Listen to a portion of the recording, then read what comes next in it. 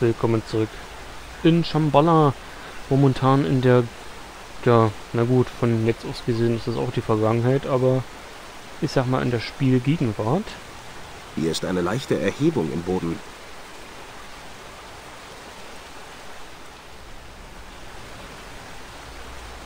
Die Erde ist leider zu hart, um hier zu graben.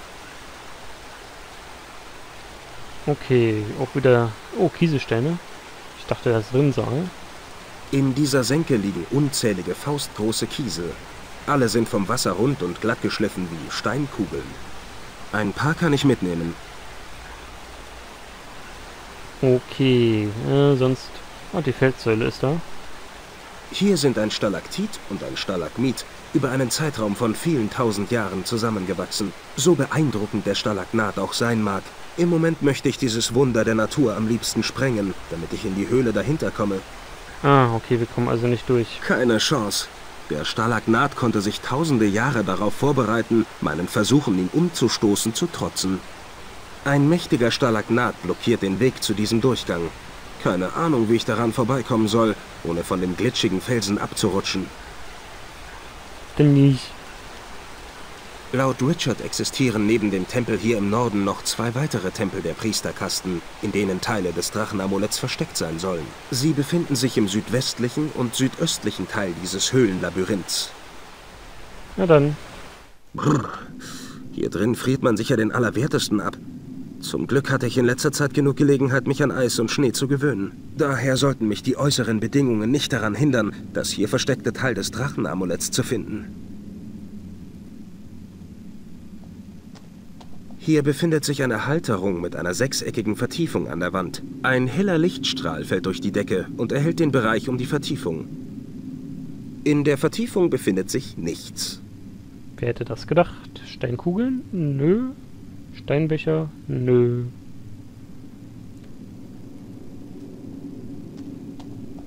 Ein Bottich aus Stein.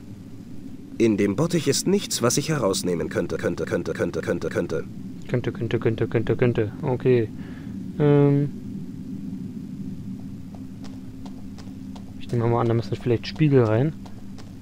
In diesem Eisblock ist irgendwas eingefroren. Ich kann durch die dicke Eisschicht hindurch einen goldenen Schimmer sehen. Hm, wahrscheinlich das Amulett. Das Licht strahlt hier hin. Dann kommt da vielleicht ein Spiegel rein. Der strahlt hier hin. Der strahlt hier hin. Und genau auf den Eisblock. Na, kannst du den durchhauen irgendwie? Um diesen Eisblock zu zerstören, bräuchte ich zumindest eine Spitzhacke. Noch besser wären allerdings 5 Kilo Trinitrotoluol. Was ich damit sagen will, mit bloßen Händen kann ich dem Eisblock kaum einen Kratzer zufügen. Ach Mann. Puh, und ich dachte, in der marokkanischen Wüste war es heiß. Aber zur Sache. Das hier ist einer der drei Tempel, in denen die Teile des Drachenamuletts sein sollen. Allzu viele Versteckmöglichkeiten scheint es ja nicht zu geben. Andererseits bin ich bekanntermaßen ein Meister im Unterschätzen von Aufgaben. Tja, wenn ich Wangs Aufzeichnungen hätte. Aber die habe ich nicht. Und so bleibe ich weiterhin ratlos, was die Bedeutung dieses Zeichens betrifft. Ich lasse mich jedoch zu der Mutmaßung hinreißen, dass dieses Zeichen genau das Gegenteil von dem unterm linken Arm der Statue bedeutet. Das erkenne ich an der Positionierung. Gut, wir müssen also da was reintun. Was dann hier in der Gegenwart, also in der Vergangenheit müssen wir was reintun, damit das hier in der Gegenwart irgendwie aktiviert wird. Hier ist eine quaderförmige Öffnung. Leer. Diese merkwürdige Statue bildet das Zentrum dieses Tempels. Richard sagte, dass hier eins der drei Teile des Drachenamuletts versteckt ist.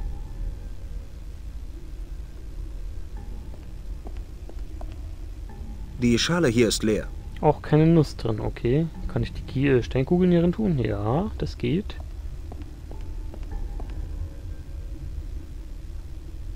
Es tut sich nicht.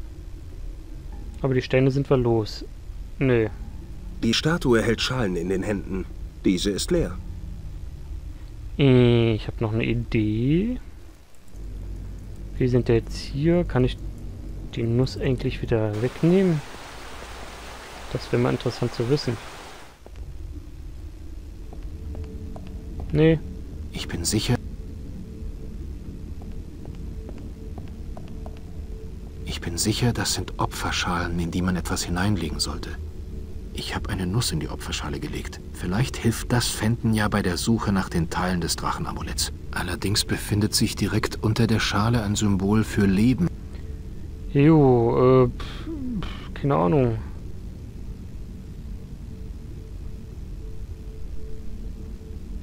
Keinen Plan, was ich jetzt so wirklich machen soll. Ich muss irgendwo das Zahnrad hinlegen, damit das Fenton in der Zukunft dann hat.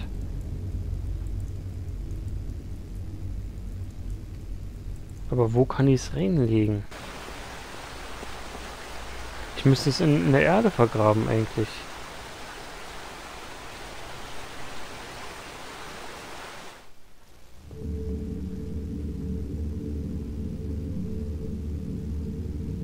Hier ist nichts weiter, okay.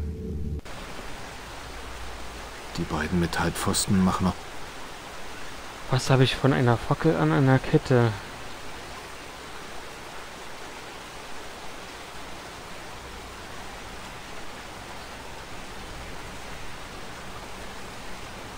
Von dort oben tropft Wasser durch die Felsendecke. Und aufgrund mineralischer Ablagerungen bildet sich über einen sehr langen Zeitraum ein nach unten wachsender Stalaktit. Der kleine, oder sagen wir besser junge Stalaktit befindet sich noch zu weit oben an der Felsendecke. Ich kann ihn nicht erreichen. Hm, hm, verdammt. Momentan kann ich hier nichts machen.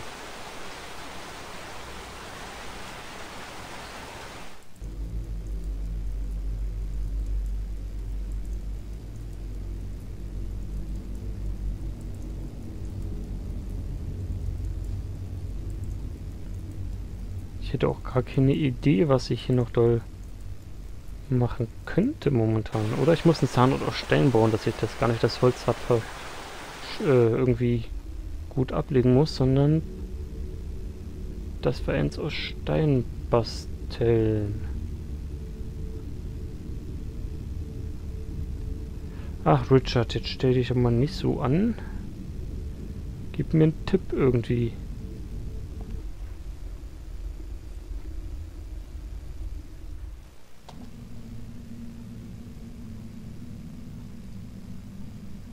Okay, den Eiszapfen im dem Den Bottich. Eiszapfen lege ich gerne wieder ab, denn es ist verdammt kalt. Die Frage ist, was damit passiert. Der Eiszapfen war mir zu kalt, darum habe ich ihn in den Bottich gelegt. Der wird ja jetzt da kaum schmelzen, nehme ich mal an.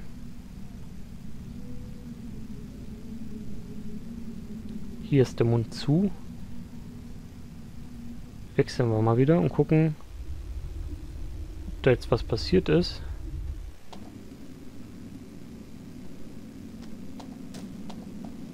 Im Bottich liegen unzählige kleine Eisbrocken. Vielleicht ist ein Eiszapfen von der Decke abgebrochen und darin zersplittert. Nein, danke. Ich brauche keine Eissplitter. Mir ist schon kalt genug. Äh, wozu habe ich das jetzt gemacht? Kacke. Dachte, das wäre jetzt so eine Art Lichtweiterleitungsersatz. Keine Ahnung. Ich habe es gehofft.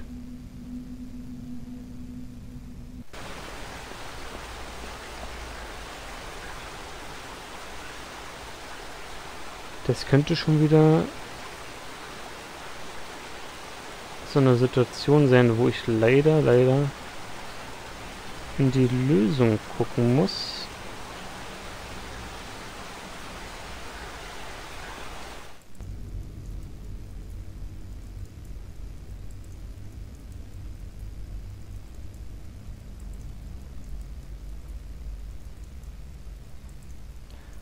Was ist denn, wenn ich jetzt den Steinwürfel wegnehme eigentlich? Mein Gefühl sagt mir, dass ich den Steinquader lieber stehen lassen sollte. Und auf mein Gefühl kann ich mich meistens verlassen. Na toll, okay, soviel zum Thema. Hier können wir momentan nichts machen.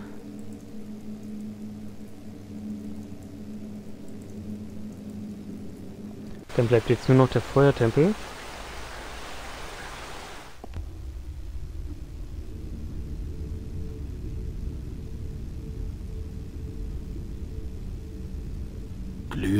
Heiße Lava. Mr. Lava Lava. Also näher möchte ich nun wirklich nicht an die Lava. Schon hier oben ist es unerträglich heiß.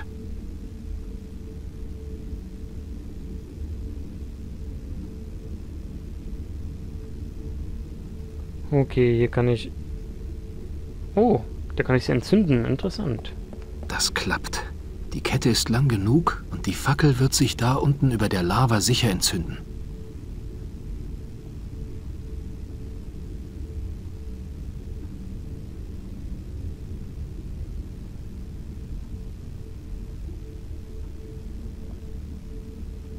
Sieht nicht so aus, oder?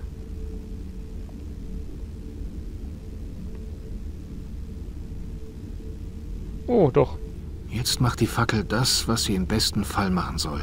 Sie brennt und spendet Licht. Eine lange rostige Kette. Okay, damit kann ich jetzt aber hier nichts anfangen. Ich nehme mal an, ich kann damit den Eiszapfen schmelzen.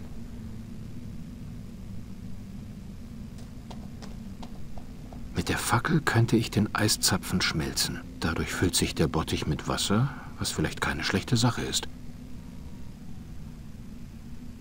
Ich habe den Eiszapfen geschmolzen und nun befindet sich Wasser in dem Bottich. Wahnsinn. Und das Zahnrad da rein, okay. Es ist zwar nur ein hölzernes Zahnrad, aber ein erfrischendes Bad hat bekanntlich noch nie geschadet.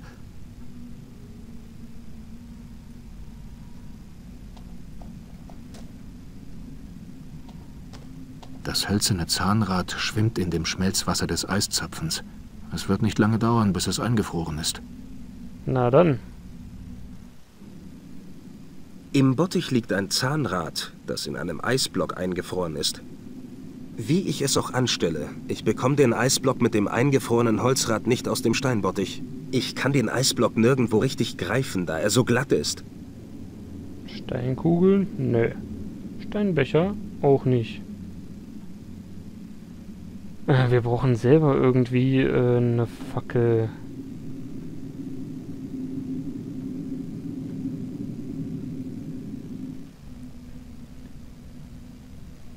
Kann ich die irgendwo wieder reinstecken, damit der die sich die krallen kann? Ich muss die Kette ja theoretisch auch irgendwo ablegen können.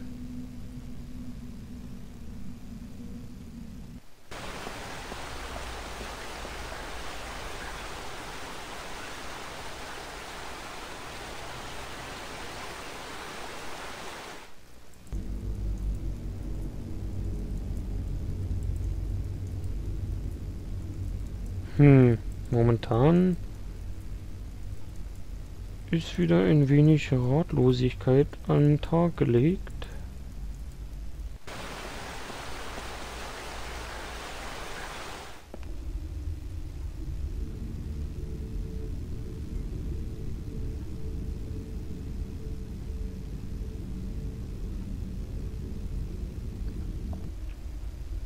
Mir erschließt sich auch nicht, wozu ich die Kette jetzt gebrauchen könnte.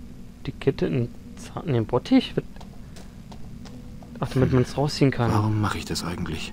Entsorgung unnützen Ballast? Ein besserer Grund fällt mir gerade nicht ein. Aber ich bin jetzt einfach mal spontan und hänge auch noch die Kette zu dem Holzrad in den Bottich. Mag sein, dass sich die Auswirkungen meines Handelns erst in der Zukunft zeigen. Im Bottich befindet sich mittlerweile ein Großteil meines Gepäcks. Das hölzerne Zahnrad schwimmt im Schmelzwasser des Eiszapfens. Und die lange Kette habe ich auch noch dazugelegt. Bei den Temperaturen hier dürfte bald alles gefroren sein. Hoffentlich klappt's. Bottich, Kette? Wo ist, der, wo ist die Kette? Im Bottich liegt ein Eisblock, in dem ein hölzernes Zahnrad eingefroren ist. Aus dem Eisblock ragt eine Eisenkette heraus. Und da staunst du nicht, dass plötzlich eine Eisenkette drin ist? Wenn ich das Ende der Kette packe und kräftig ziehe, müsste ich den Eisblock mit dem Zahnrad aus dem Steinbottich bekommen.